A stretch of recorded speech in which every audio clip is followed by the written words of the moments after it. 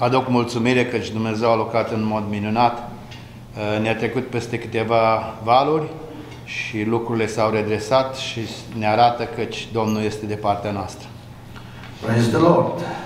Așa a fost descoperit încă mai de demult, câteva săptămâni în urmă, că Domnul va fi cu voi, va da biruință și va face ca lucrarea aceasta să progresească sub călăuzirea Domnului.